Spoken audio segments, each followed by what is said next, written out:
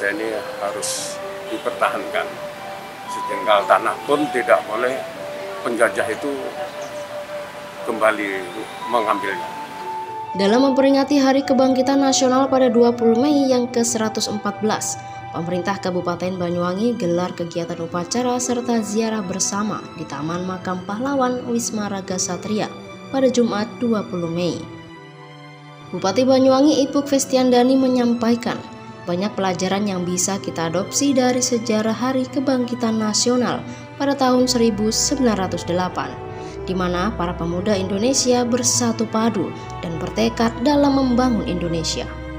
Ipuk ingin pemuda zaman sekarang juga turut melanjutkan perjuangan dengan bersatu saling bahu-membahu guna bersama-sama terbebas dari permasalahan yang dihadapi seperti ekonomi, pandemi, masalah pendidikan, serta kesehatan. Ini saatnya momentum bagi kita untuk bergerak bersama, bersatu, bergerak bersama agar capaian yang sudah kita peroleh ini akan semakin lebih cepat lagi. Kita libatkan semua sektor, Forkopimda, seluruh ASN, tokoh-tokoh muda, para sesepuh, para tokoh masyarakat, tokoh agama, bersatu padu untuk membangun Banyuwangi dan Indonesia.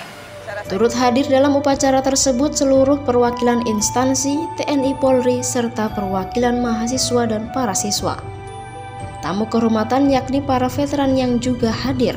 Ketua DPC Veteran Kabupaten Banyuwangi, Kusnari, memaknai Hari Kebangkitan Nasional sangat dalam. Sejengkal tanah Indonesia harus tetap dipertahankan.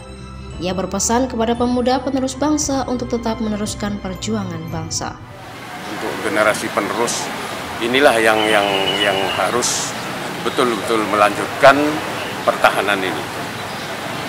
Oleh karena itu kami berharap agar generasi muda ini tetap bertahan ya, untuk meneruskan kelanjutan perjuangan eh, para pejuang-pejuang yang terdahulu. Saat ini, veteran yang berada di Kabupaten Banyuwangi berjumlah 111 orang. Beberapa dari mereka sudah mengalami kondisi kesehatan yang tidak prima. Novita Kamil, Binetwork Media, mengabarkan.